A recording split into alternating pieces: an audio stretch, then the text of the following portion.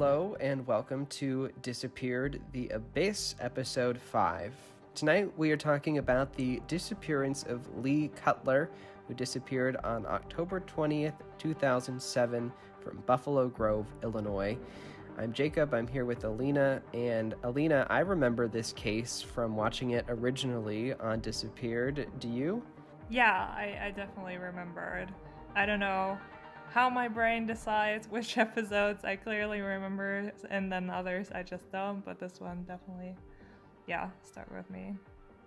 Yeah, I agree. It's like I don't remember every episode from the first season. Some stand out for me, and this was definitely one of those where years later, um, I'm still curious about it. So I'm excited to be talking about it tonight.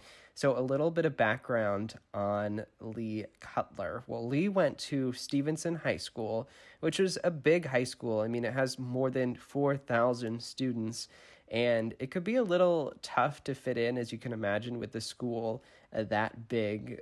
Uh, Lee's mom would say that he just had a little trouble with it, and it was a little tough. His mom, um, says that he was the kind of person to come over to a friend that seemed sad and poke them or hug them, uh, just in general, kind of a jovial person.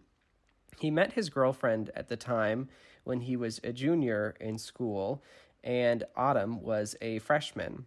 Now, Lee wasn't sure what he wanted to do with his future and was not sure if he wanted to go away for college, you know, a kind of common situation to be in for a high school senior at this point. Um, it's a big change in your life and figuring out what you're going to do. So, a little period of uncertainty. On Friday night, October 19th, so the day before Lee would disappear, he gave his mom a long hug before he left. Um, he was uh, spending the night at a friend's house and they played video games and nothing really seemed too wrong to the friends that Lee was hanging out with that night. It was pretty normal kind of hangout night that you would have. Now, at his friend's place, he is texting with another friend. Uh, a conversation that the show kind of talks about briefly, just saying that Lee doesn't feel like he's able to fit in um, with people and communicate well. And the friend kind of assures him that everything will be fine. Um, they know that Lee can kind of hold back his inner feelings sometimes. And uh, people weren't really sure how he coped with that, not being able to communicate with people very well.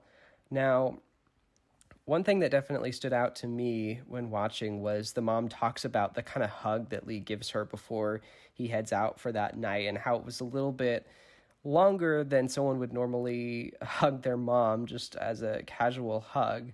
Um, and the mom kind of talks about how, in hindsight, everything, you know, you read into things more. Um, what do you make of the hug?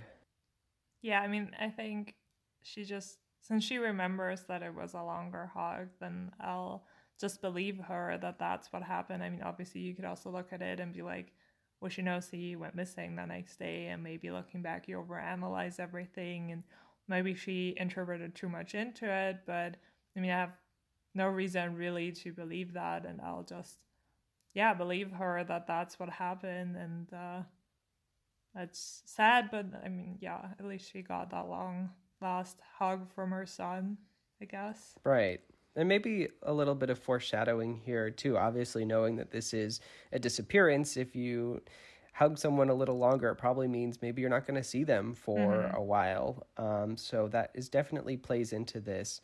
And we know right off the bat that lee is kind of someone who is struggling at this point you know especially in high school when you're younger you're all kind of figuring out how to deal with um, your emotions and who you're becoming but Lee seemed to struggle a bit more than most people um, in just his ability to kind of talk about what was going on inside of his head. It said that he, you know, was really good friends with people and would listen to their problems and what they were concerned about. But when it comes to telling other people how he was doing, he could really struggle with that. Um, did, did you get that sense, Alina?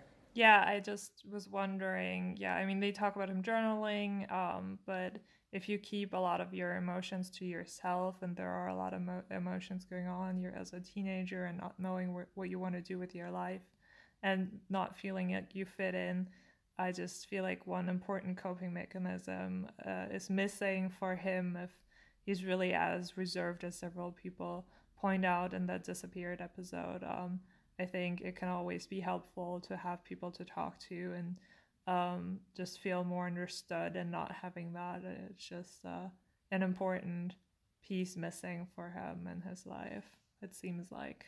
Yeah, it feels like, and he can sense this. I mean, they say that he is texting with the friend, uh, mm-hmm. female, that night at the sleepover and, and saying these things. And um, it doesn't immediately like stand out to the friend that something is off because this is pretty typical for him to do these kind of feelings and she's not very concerned about it. But it does seem a little weird that you know something clearly is going on at this sleepover where instead of like talking to the i think it's two other guys that he's with um, about what's going on he's kind of texting this other person saying that he is having trouble. Yeah and i was just wondering like okay was this other friend his best friend or why choose her over the people he is with that night or why not reach out to his girlfriend? Um, i was also wondering if his whole comments and not fitting in or not being able to communicate i guess they were meant like in general that he had issues with that but was there also something that night that triggered it or that reminded him that he had trouble with that? And that's why he didn't talk to the friends he was with. I mean, they said that um, nothing really seemed off, you know, with uh, with Lee that night. Do you have any thoughts on that? Yeah, I think that there's probably a good chance that like something happened that night that triggered it because I don't know why you would text someone and this was pretty late at night i believe sometime around maybe like 12 mm. o'clock or so that they're having this conversation so it was something that was on his mind right then and clearly couldn't wait. Like, you know, it was weighing on him and knowing that he's someone who doesn't like to talk about his emotions in general, the fact that he was texting someone about them while with other people in late at night seems to me like there was a, a situation unfolding. On October 20th, um, so the day after the sleepover, this was a Saturday, uh, Lee dropped off a friend at 10 a.m and so I'm assuming that's a friend from the sleepover.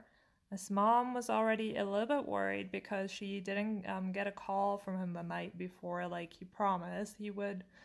Um, but she knows that sometimes he would call and sometimes he didn't, um, and so it wasn't totally uh, unusual for him not to call. But he, yeah, she started to worry already a little bit, and she kept trying to reach him in the morning, but had no luck. And at some point, um, he was supposed to show up at work. He worked at a clothing store um, part time, and he um, didn't show up. So his shift started was supposed to start at noon, and his manager told his mom that maybe Lee just thought that he was supposed to st- start later that day, maybe at 5 p.m. So her, his mom basically tells the manager, yeah, okay, well, as soon as it's five, like if he's not there, call me, like let me know. Um, and they talk, and he doesn't show up at 5 p.m. either. Um, so his mom immediately felt that something was wrong when she learns about that. Um, and when Lee doesn't show up at the bowling alley, which he was supposed to meet with a, Jewish youth group that um, he usually hung out with a lot, his mom's worries only deepen. Um, she actually is there and like hoping that he'll show up to this meeting, but he doesn't. And so uh, the same day at 9:40 p.m., uh, Lee's mom decide uh, decided to call the police and report Lee missing. So I was already, yeah, just wondering what made him decide not to call his mom back because we know she already tried to reach out to him the night before and he was obviously like with his friends like maybe not super well but they didn't notice anything was off and he was reaching out texting with this other friend and so he must have known or noticed his mom trying to reach him and he decided not to call her back and i just yeah i'm wondering what was going on in his mind not to do that. Um i don't know if you have any thoughts on that. Well, nothing really other than, you know, the obvious, like maybe his phone died or something like that. You know, he was mm-hmm. talking to the friend um late in the like early morning, late night time, but maybe when he was planning to call his mom back in the morning, yeah. perhaps like his phone had already died. He maybe wasn't thinking ahead and didn't bring a charger with him or maybe he you know was just not too concerned about it. And his mom had also said it wasn't like super unusual for him to not call even when he yeah. said he was going to. So maybe it was just one of those things where oh I'll see mom when I see her and it's going to be fine. Yeah you're right. It could totally just be that he was like well I'm with my friends now. I don't want to like call her back right now. I'll call her tomorrow. And then the phone was dead or something else came up. So who knows really um, he disappeared from Buffalo Grove, and this is a upper middle class town with about 44,000 citizens in 2007 when uh, Lee went missing with a high rated schools and a very low crime rate, according to police. Lee sometimes uh, liked to take off on his own and just think and meditate. He was also the president of the boys chapter of the Jewish youth group BBYO. And so an investigation began right after Lee's mother called the police to report him missing. And they explain in the episode that the reason for that is um, basically that they think that he may not be stable, that he may be um, yeah, he may be in danger um, to hurt himself because usually, because he's already 18, they wouldn't necessarily go search for him right away or um, even take this case because he at that point isn't missing for uh, 48 hours yet. So, um, but in this case, they do decide to take on his case right away. Um, so they check all the places that Lee likes to go to. They check out um, I guess the Oasis because he liked to go there and talk to truck drivers. He also liked to go um, to a parking garage and just sit there and think.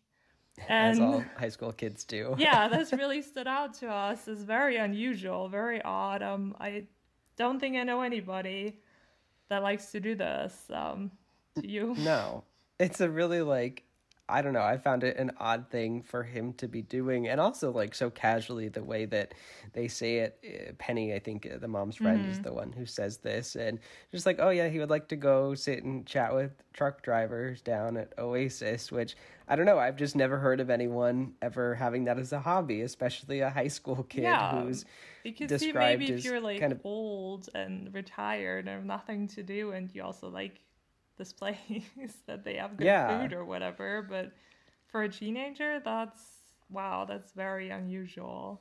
But I guess there are like, several things about him that are unusual, but this really stands out.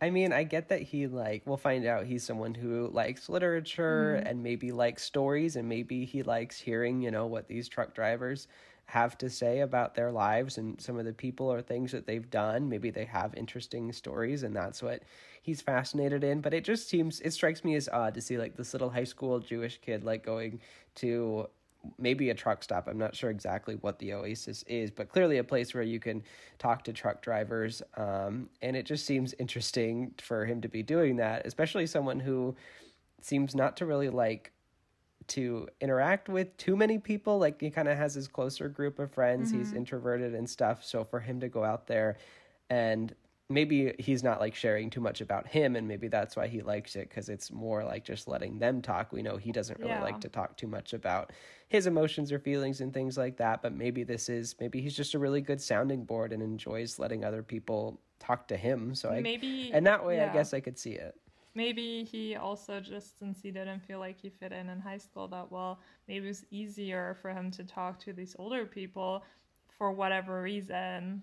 I mean i just remember when i was maybe middle school or high school sometimes i would feel like it's easier to talk to adults than like people the same age because you know they're not going to be mean or anything but I, I i don't know. That's just like something that came to my mind too but still very odd still something yeah, I don't think sure. many people would have done. And potentially, I mean, not trying to say that all truck drivers are dangerous, definitely not, but just talking to strangers at like a young age and maybe being a little naive, I, I don't know. I, I'd be a little scared if my child told me that's something I like to do on a regular basis. I would be like, Definitely. okay, who do you run into there? I don't know. yeah, and um, at the time, he's what just 18. two weeks past 18 yeah. so he'd probably been doing this uh, well before mm-hmm. that and so he would have been uh, like just a minor kind mm-hmm. of out on his own talking to yeah these truck drivers it's definitely like a questionable a situation that I wouldn't let my child do if I was a, a parent or wouldn't want them doing. But that is what Lee did. Um, so they start uh, investigating and trying to figure out what happened to Lee after he seemingly disappears and no one can get a hold of him. His mom's been calling, all of this. And police look into his room and his home and find that he didn't pack for a long trip or anything. It didn't seem like he was planning to go away for a while. Um, Lee's friends also get in on this investigation. They went to the gas station that they believed that he might have went to um, sometime that Saturday. And one of the employees actually remembers that Lee was there that day at around 10 p.m., which would have just been hours, you know, before they were talking to the gas station here. Um, so that kind of gives them some hope to know that, oh, he was around here just a few hours ago. But when the family finds this out and they talk to employees at the gas station, they ask for their surveillance video, but they kind of get shut down at the time because they have to wait for the manager to come in and approve this. They were probably just talking with, you know, the cashier there who didn't have the ability to make this happen. Um, and then by the time that the manager comes in, the video unfortunately has already been erased, so they aren't able to actually see Lee on camera. And later, they would find out some bad news. It turns out that Lee was at the gas station in the morning, not the evening, probably around 10 o'clock in the morning and not 10 o'clock at night. So he was actually been gone um, for much longer than they had originally thought. Now, Lee, as we've kind of mentioned, he did like to write and read uh, quite a bit, some solo activities. According to his girlfriend, Lee's favorite book was Clockwork Orange, but he also liked The Catcher in the Rye, um, the book Into the Wild, and the Harry Potter series. And what do you make of his choice in, in literature? Um, I know that on the on the episode, there's different people that um, mention other books as well. I think uh, Catcher in the Rye gets mentioned again, and Into the Wild is brought up again. Um, I just thought I'm, I'm I watched Clockwork Orange, the movie, and I don't know how different the book is. I know sometimes books are different from the movies, but that's a very uh, I don't know like crazy, pretty horrible movie and book, and the, just the topic it deals with, um, and for that to be someone's favorite book, also at that age, I find that outstanding. Also, it's like older, and I mean, I, I just wouldn't know if that many people have read it at that age or like uh, have that be their favorite book. So it just really stood out to me, and I found that unusual. But I guess that's what they bring up in the episode too. That he was just uh, maybe different from from people. Like i mean they describe him as a hippie too um and kind of not yeah. from the age and era so maybe this is just uh, another part of that.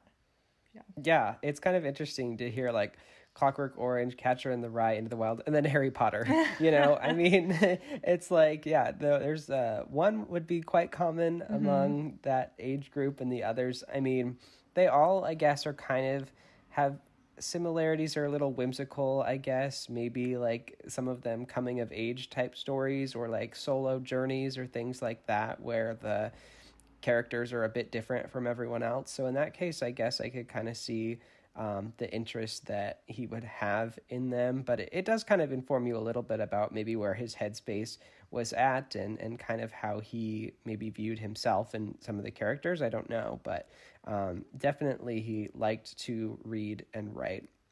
Now, his mom also described him as kind of an anxious kid. He would get nervous about things more than probably most people would, might overthink things a little bit. Um, and this is actually what caused police to take his disappearance a little more seriously. You know, he is an adult. He was over 18 when he disappeared, but um, police are more concerned just because they know his background and they're starting to hear about um, his anxiety and nervousness and they want to locate him. He also has a history of depression and has voiced negative thoughts um, in his text to his friend that we heard about, things like that. Uh, so this is also ringing alarm bells for police who are worried that you know he could be in danger um, out there from someone else or to himself. Um, Lee's mother believes that he his suicidal tendencies um, were caused by a breakup with his girlfriend. So specifically, in one incident, he brought a knife to school, and he threatened to kill himself. And this was after a breakup with a, a former girlfriend that he broke up with, just because they were different ages and this girl was going off to college and it just wasn't going to work but it was really hard on Lee. Clearly, he was admitted to the hospital because of this, um, which actually caused a little bit of a rift between uh, his mom and him. He wanted to get out of the hospital, but for his own safety, his mom kept him there for a little while. When he did get out, he continued to see a therapist, but his mom believes that this probably wasn't all that helpful to him. He was just kind of going through the motions and not really maybe participating in the therapy or getting too many benefits from it. And at the time that Lee disappeared, his mom wasn't living at home with him. Um, she was taking care of her mother who had cancer. So we know that Lee had asked her to move back in. Um, and his girlfriend thinks that it was very stressful for Lee to live um, alone with his stepfather. I, I, think he has a brother too, but just without um, his mother at home. Lee and his stepfather didn't get along. He, the stepfather, was described as volatile and not a good um, dad by a family friend in, in the disappeared episode. They had saved between five hundred to eight hundred dollars. They say, on the show, um, which were missing because Lee's phone was turned off. Police couldn't use it to find uh, where Lee had gone because usually they would obviously try and track his phone and figure out where he went. 42 hours after Lee was last seen, his car was found um, 177 miles away from Buffalo Grove at a rest stop by State Highway 33 near the bluffs of Baraboo, Wisconsin. The officer that ran the license plate found out that the um, car is related to a missing persons case and contacted the police department in Buffalo Grove to let them know that they found the car related to their case. Um, nothing about the car indicated foul play. It was parked properly, like the doors weren't open or anything. Um, yeah, just nothing like stood out. Um, they conducted a ground and air search in the area around the abandoned car with uh, over 50 people. And police soon find a makeshift campsite close, I guess, somewhat close to the car. Um, his family identified the uh, the belongings as Lee's, and it's especially worrisome that they um, find over-the-counter pain medication and sleep aid at the campsite and several bottles of water. Um, and they don't just find those, but they find them empty. I think uh, they described that they just find like one pill next to it. Um, taking both medications combined is very dangerous, um, doubling the chance of heart failure. And um, the bottle with the sleeping pills was, uh, yeah, like I said, empty, and one pill was found next to it, according to Lee's girlfriend. Um, a river, this is the Baraboo River, runs next to the makeshift campsite. Um, police search the river and um, they do end up finding his pants and his belt. And his pants contained his wallet and identification. Um, the river is full of obstacles so that a body could easily get caught up, according to police. And um, Lee wore pants many sizes too large, as a family friend recounts on the show um, and like to take them off uh, with the belt in it. And now this now when they find the belt and the pants. Uh, the belt's not in the pants, so this stands out as uh, odd, I guess, to family, friends, and family. Um, so I would, yeah, I'm just wondering, like, what could be an explanation? I mean, there's obviously now a lot of information, a lot was just found out, but um, they really talk about this belt and pen situation a lot and find that very unusual. But I mean, I guess I could just, if we're assuming you took all those pills, I don't know that you'd act like your normal self or you could have all strange reasons to do anything um, and take the belt off. I don't know if you have any thoughts on that. Well, I think they found the belt in the pants like five days later after the yeah. first search began too. So who knows what had happened in between that time. Um, I also think if he was taking them off, you know, he would normally keep the belt in there because that's how he was going to keep the pants on. But if you take them off and you're not planning on putting them back mm-hmm. on, maybe you take the belt out, you know? Yeah. You're not going to need it to be in the loops already because you're not going to be wearing them again. So perhaps that was part of it. Or maybe, I don't know, maybe he was using the belt for something. Maybe yeah. it had another use. Like, um, I, I can't really imagine what, like a rope or something like that. But perhaps there was some other reason that he needed it. Um, and I don't know that it really helps fill in too much about no. what happened to him. No, it just doesn't seem as an um, crazy to me as it seems to seem to some people on disappeared. Um, I just could see many reasons or many scenarios where this would be the outcome. Um, also, I guess I forgot to mention that it was found submerged in the water, which might also explain why it took them a while to find it. Um, and may also have to do with why the belt wasn't in the pants. I mean, I don't, I don't if it got yeah. caught on like something and uh, there was a current. That what? The current. Yeah. yeah. I don't know. Just many many and explanations seem possible here. The photo they show in the episode two shows the wallet there as well next to the um, belt and the pants, and so they've recovered quite a few of his items at this point. Uh, police also would recover a note that Lee had written, um, and presumably this is to his mom. And his mom in the show says that she has it memorized by heart, and so this is what she says when she's reading it from her memory. It says, quote, My head is too big for my body. Finally, I'll get to sleep. I'm sorry, Mom, that I'm a coward. I love you, Mom. Please be happy. And so there's a number of different ways that you could look at this note that is found. Um, his mother says that this is maybe him expressing his thoughts like he liked to do. He, you know, would get overwhelmed and used writing as a tool to kind of get his emotions under control.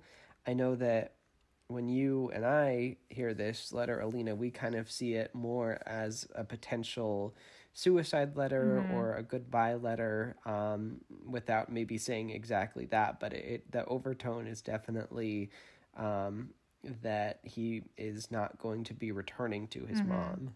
Yeah. I, I have nothing to add to that. It's just, uh, I think she doesn't read it the same way, but just as being like, outsiders to the situation. That's really what it comes across as. Yeah. So police continue to search uh, the river, but ultimately come up empty of a body or anything to indicate where he himself is other than his items. And the investigators say that if Lee was in that immediate area, that they would have found him and the mother believes that the search was thorough, and obviously police do as well. Um, so we just don't have a lot of answers at this point. But when I watched the episode, my thought was, well, how far did they search? Because I believe them when they say, you know, that they did not find him in the immediate area, but this is a river. Um, and it, it could go for a ways if he ended up in it where his clothes ended up.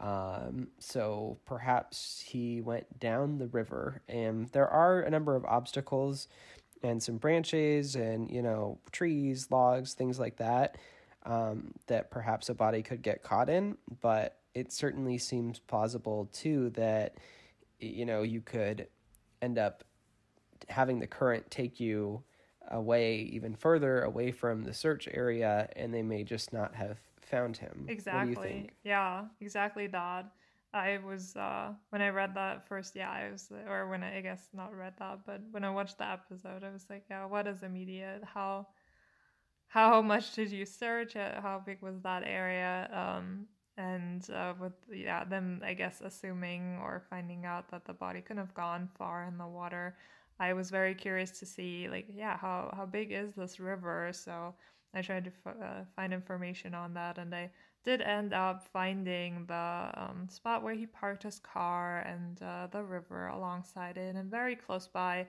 is basically the road um, leads over a bridge over the river and you can check out the river like how wide it is there and it's like very very close to where they found the car and I'm assuming found his makeshift campsite and it definitely looks big enough to me. I'm not an expert that it, but that it could have uh, also that the current could have taken his body further and further away. So, um, and I mean, it doesn't even have to be in the water. If we like wonder why they didn't find the body, there's all um, ways of just many ways, uh, possible ways that it could have gone down. Like if we assume that he took. Uh, all this medication that maybe he did think, yeah, I'm going to go in the water because they did find the pants in the water, but he could have also thrown them in the water. He could have felt hot. He could have felt like, oh, my whole body feels weird. He could have walked for a while. Like, I don't know how long he could walk taking this medication, but it just seems like he could ended up somewhere in the wilderness, just not close enough that he wasn't in the so called immediate area and they just missed him. And this happens in so many cases. They go back and search the area many years later and do find a body in areas also that have been searched before multiple times. So who really knows? I'm not sold on the he's not out there anywhere idea. No, I'm not. I'm not either. And it's not the end of the investigation. Police will obviously still try and trace his last known whereabouts and figure out how he got there. Um, they also look at the car and they find typical stuff for a teenager school papers, clothing, candy wrappers, things like that. They also found an admissions ticket to Kettle Moraine State Forest in Wisconsin. Uh, so this gives them some clues as to where he was that day. Um, earlier in the day. They do a little digging and find out that for residents, the entrance fee into this state forest in Wisconsin is $7. If you are from another state, though, it's $10. Um, and Lee only paid $7 according to this uh, admissions receipt that they find. And so police consider whether or not maybe he was traveling with another person, possibly an in state resident who was able to get that discount for the park. Now, I don't really subscribe to this theory. I just don't think there's any other evidence of that other than that um, receipt that they have. I think there's, you know, potentially other reasons that you could have paid $7, perhaps like it was a system where it's kind of like the honor code where you just say whether you're you're an in-state resident or not um, and they just go with that. Maybe you don't have to actually show an ID, it's not really clear. Or maybe, you know, he didn't have, for some reason, enough money and they were just let him go with the cheaper price. I don't know. What do you think? Yeah, I mean, he was young. Like, I could just see someone be like, oh, you don't have to pay the full price, you know, um, assuming or knowing that people that age may not have that much money, but thinking, like, well, they still want to go visit the park. They should have the chance to. I yeah, I, I, mean, they have to investigate in different directions, so I get why they're considering that maybe there was another person there. There's just really nothing else that indicates that, so yeah, I'm assuming the, there's another reason for that.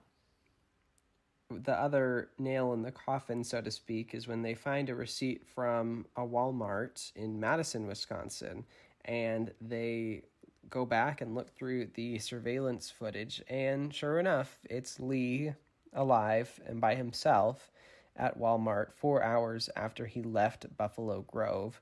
Um, in the video, he was wearing the khaki pants that they found in the river. He was also wearing the yarmulke, which they also found um, near the, the river as well, near his uh, makeshift campsite. The car is found with the gas tank almost empty at the near the campsite, even though he passed several gas stations on the way. So police and the family are speculating about whether he ever intended to come back from this area, knowing that he could have got gas, but never did. Uh, in the car, they also found the book Into the Wild, which we mentioned earlier. So, why do they think he knew where he was headed? I think, I mean, they talk about him, um, yeah, knowing where he was headed, I guess, because his car ran out of gas or was out of gas where they found it, and also because he kind of went there and like, and straight went went there straight. It's all like on the way, um, the places he passed through. But I, I was wondering that, like, I put down that question when I watched it. I, um, I could see it being planned, but I just don't feel like we know that for a fact. This going this direction or going straight, and then running out of gas, like that could have happened just by coincidence. Or I was wondering too, like, why well, because at this point, we kind of like there are so many hints and indications pointing towards suicide, and we can talk about that more later. But um, I was just wondering, like, why visit this other state park before, and um, by the entrance, like, you know, why go there? Was he maybe trying to find a good place? Like, obviously, didn't want to be anywhere close to home. Maybe didn't want his relative or any anyone he knows to find them. Want to spare them off that. Um, so trying to find a good place for for ending things and maybe he was just that's what i was thinking like going to this park and maybe he was considering that to be a good spot and then but then being like oh maybe not and like yeah just continuing on until he ended up where we found where the car was found in the makeshift campsite so if you think about it that way it wasn't planned like thoroughly through you know so I was just yeah curious why they really thought it was all planned when I watched it, and they say that um, because I I feel like we don't know for sure, but yeah. Oh yeah, it's also okay.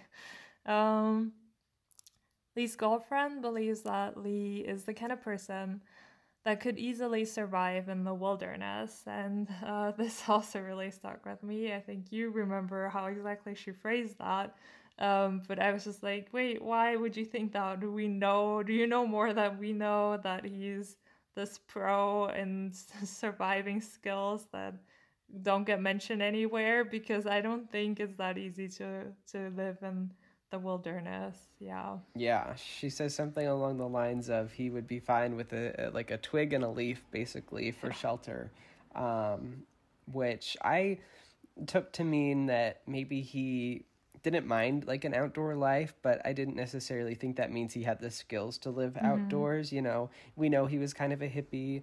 Uh, he was more spiritual. I'm sure he did enjoy being outside and like would have been fine with that. But I don't know that it doesn't seem like there's any indication that he was an outdoorsman or really, you know, had the skills to somehow make mm-hmm. it in in the wild. And then another topic gets brought up by his cousin. So, the section of the Torah that was assigned to the day, October 20th, when Lee disappeared, encourages people to go out on the road and search for God. Mm, the first line reads, if you uh, translate it to English, and God said to Abram, Go for yourself from your land, from your family, from the house of your parents to the land that I will show you. And we've talked about this, or we have, I guess, similar thoughts on this. Uh, it does seem kind of like a weird coincidence at first that that's what it would say for the uh, Torah that day, and we know that um, Lee was religious and then turned towards religion often, but um, I, yeah, we just wondered like how many days is that written in a way that um, it might also sound like mysterious or fitting. For... You mentioned it's kind of like a horoscope, yeah. which I think is a really good way to put it. Yeah, who knows? I mean, I'm not trying to describe a religion as like a horoscope, but I, I just mean um, it could other phrasing may also have sounded mysterious or may have matched the circumstances. So uh, who know who exactly knows? that's kind of how those things are written right to be interpreted mm-hmm. so that you can kind of see yourself in that you know it doesn't have to obviously be the torah it could be um, the bible the old testament or anything where you know you're meant to look at it and and get your own message out of it um, and i think that could have applied in this situation too you know maybe he maybe he did look at that and maybe there was some influence there or maybe he didn't. I really think it, yeah. it doesn't really have maybe too much bearing on what ended up happening to him. Also it would only make sense if you really believe he uh, kind of also well like being close to the angle of the into the wild book. If uh, yeah if you believe that he just wanted to go on this adventure then it would fit even more. It would fit with the book. It would fit all with that angle but we have so many indicators that that's not really what happened here so yeah who knows? Um there are other theories to what happened too some believe um, that lee is in israel to join the army um, the idf the israeli defense army. Um, lee wanted to go join the idf after graduation at least he had brought that up to his mom and they welcome non-Israeli residents. And um, his mom and him sat down one day and ordered information online on this program, but his uh, mom never got anything in the mail about it. She states that Lee always came home before she did and got the mail, so who knows, I guess is what she's indicating there, that maybe he got the information on it and just never showed that to her. And in 2005, um, so two years before he went missing, uh, he was in Israel for his cousin's wedding and loved it there. So family, friends also followed leads um, to shelters in Nevada, but never heard back. Never, um, nothing ever turned out, I guess, from that, and it just, uh, just seems very unlikely that he'd be in Israel. Um, I mean, you'd need a passport, you'd need a flight ticket. How would you do that without ever leaving a trace? Oh, he's just 18, he didn't have that much money. It, to me, in my mind, there is no way that that's where he's I gone. agree. Yeah, I think it's very unlikely. I think that's out of all the options that have been laid out, I feel like that's probably the farthest fetched one. I can mm-hmm. see why they would, you know, perhaps consider this. It's not like totally out of the realm of possibility, given that he had expressed expressed interest in this before. He's been there before. Um, you know, family members had been there and moved there, so certainly it was a place that he was thinking about and a potential option for him after high school. I mean, this is someone who had admittedly said, "I don't really know what I'm going to be doing." after this period and maybe that was you know something that he was considering and would have given him some stability and matched his faith. Like i think it would have been a possible option for him definitely. But as far as whether th- that actually happened i think that's like the least likely scenario. Yeah and i liked what um, you brought up about this too. Um, when we talked about it earlier you said that um, his mom didn't seem to completely be like, well, no way you can't do this. Like they sat down together, they ordered brochures. Um, so it sounds like, yeah, if that's really something he wanted to do, he could have gone and done that after high school. And then why not wait out a few more months and just yeah. go do that? Um, he didn't have to run yeah. away to do it. Yeah, exactly. Um, something else that I thought was interesting is um, how much money they found in his wallet. And it kind of ties in the idea with like, would he run away? Could he go to Israel? You know, um, we know that he spent some money to buy the medications at Walmart, but he, they were found that you know five to eight hundred dollars was missing from his room. So if they found money in his wallet, which they did find, how much was in there and was mm-hmm. any missing? We don't at this point. I'm not able to find any information that really indicates um, how much money is still missing or not missing, and that could help us figure out. I think if he made additional stops along the way and there just weren't receipts for that um, could that give us any clues about what happened to him? Did he take it with him if he did go off somewhere? You know, did that get him a bus ticket? Um, you know, we were not far from major highways. Did he hitchhike and then find a ride and get a bus ticket or something along those lines? Um, I think that could definitely help fill in some of the pieces. But I also imagine that investigators would have looked at that and hopefully figured that out, and maybe nothing came of it. Yeah, and just after all this time passed, and there are unfortunately no updates in Lee's case, uh, it just seems very unlikely that he's out there and alive and living somewhere and just ignoring his family and friends forever. I know there's cases like that, but there are very few, and uh, we don't have that many indicators that would point towards him just breaking all ties with his family. I mean, he had friends that he was close to. Apparently, he had a girlfriend and the mom that really loved him, and also publicly, you know, cried in front of cameras. And I don't think many people could see that and decide never to come home. I mean, yeah, I guess you could assume he never saw that, but just we have so many indicators that point towards that one um, that one thing being suicide. I don't right. know. What do you think? Yeah, I totally agree. I wish in some ways that they had been able to find his body just to give closure mm-hmm. to his mother, um, who, as far as I know, is still kind of holding out hope, even from some articles from you know a handful of years ago, kind of saying that she still has hope for that moment of him kind of walking in the door one day um, and I think that must be so hard to um, have that with you the entire time that uncertainty, that kind of hope, but it just doesn't seem like that hope is um, rightfully placed, I guess. So we have a little announcement to make. Um, with the next episode on Disappeared, it would be the case of Maura Murray for us to discuss. And you may have heard of her case. It's uh, very popular. Um, there are many documentaries, podcasts on it, books, lots of information. And we have just decided that we are not going to discuss her case because there are many great sources on the case, and we'd rather you watch or listen to those.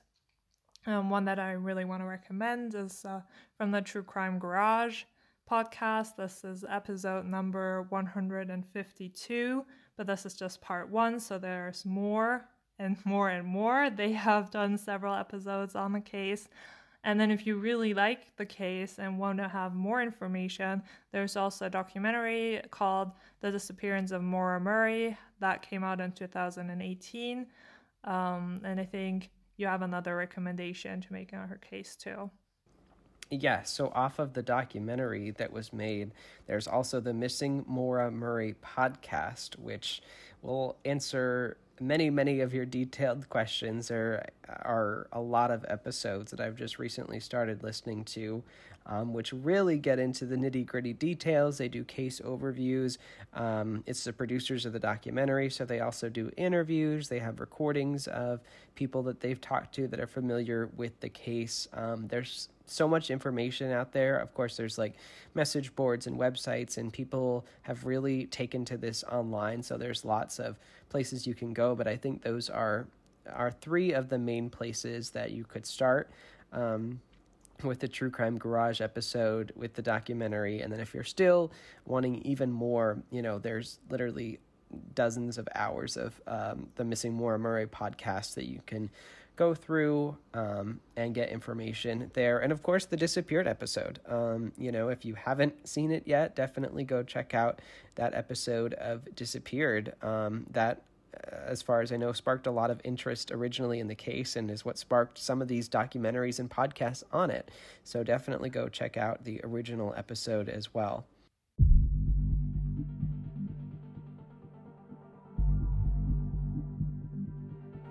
with that being said, thank you all for listening. Until next time, bye.